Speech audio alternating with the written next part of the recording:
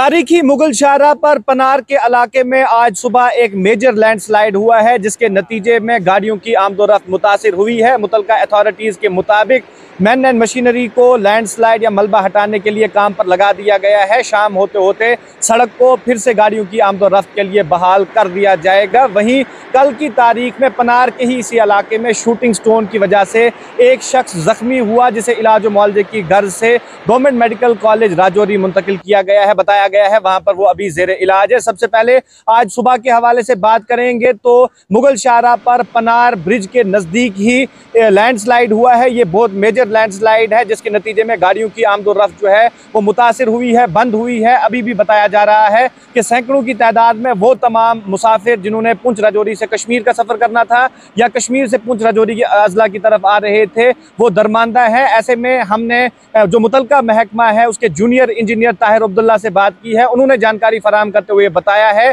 सुबह जब लैंडस्लाइड हुआ था, उसके बाद मुतलका महकमा वहाँ पहुँचा था। खुद वो वहाँ पर पहुँचे थे और एंड मशीनरी को काम पर लगा दिया गया है। अगरचे उनके मुताबिक बड़ी मशीन को वहाँ पर लगाया जाना है, चूँकि मेजर लैंडस्लाइड है। उसके बाद ही ये लैंडस्लाइड मुकम्मल तरीके से क्लियर होगा और गाड़ियों की आमदोरफ्त के लिए मुगल शाहरा को बहाल कर दिया जाएगा। हम आपको बताते चलें कि वो तमाम लोग जो हमें फ़ोन कॉल्स भी कर रहे हैं मैसेजेस के ज़रिए से जानने की कोशिश कर रहे हैं।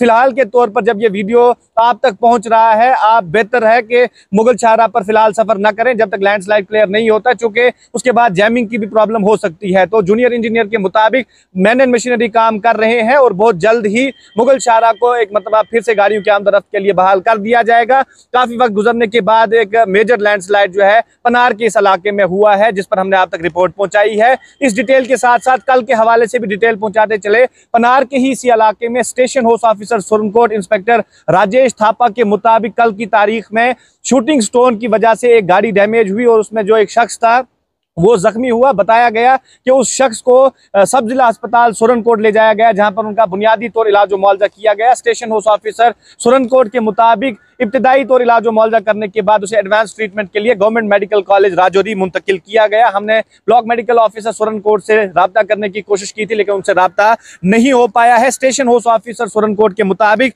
एक गाड़ी जेर नंबर जे के बारह ए इक्यासी इक्यावन, ये मुगल शाहरा पर सफ़र कर रही थी। पनार ब्रिज के नज़दीक, पनार के ही इलाके में शूटिंग स्टोन की वजह से ये शख्स जख्मी हुआ, जिसकी शनाख्त मोहम्मद बशीर सना मोहम्मद अज़ीज़ के बतौर करवाई गई है। इसका ताल्लुक सुरनकोट के चंदीमढ़ इलाके से है। जैसे हमने पहले भी बताया कि जख्मी होने के बाद, जख्मी हालत में इसे सब जिला अस्पताल सुरनकोट लाया गया। वहाँ इब्तदाई तौर इलाज मुआवजे के बाद एडवांस ट्रीटमेंट के लिए इसे मुंतकिल किया गया है। तो ये दो खबरें मुगल शाहरा से जुड़ी हुई थी। खसूसी तौर पर आज के हवाले से बात करें तो सुबह एक मेजर लैंडस्लाइड हुआ है, जो तस्वीरों में आप देख भी रहे हैं। इस लैंडस्लाइड की वजह से जो वहाँ पर उस वक्त भी लोग थे, वो भी दरमानदा हुए और उसके बाद से लगातार जो गाड़ियाँ जा रही हैं, वो भी दरमानदा हो रही हैं। जब तक लैंडस्लाइड को क्लियर नहीं किया जाएगा, जूनियर इंजीनियर ताहिर अब्दुल्ला के मुताबिक मैन एंड मशीनरी काम पर हैं, वो वहाँ स्पॉट पर हैं और काम जब खत्म होगा, बड़ी मशीनरी वहाँ ले जाई जा रही है ताकि मलबे को क्लियर किया जा सके। जैसे ही मलबा क्लियर होता है तो जूनियर इंजीनियर के मुताबिक और महकमा के और आला ऑफिसरान के मुताबिक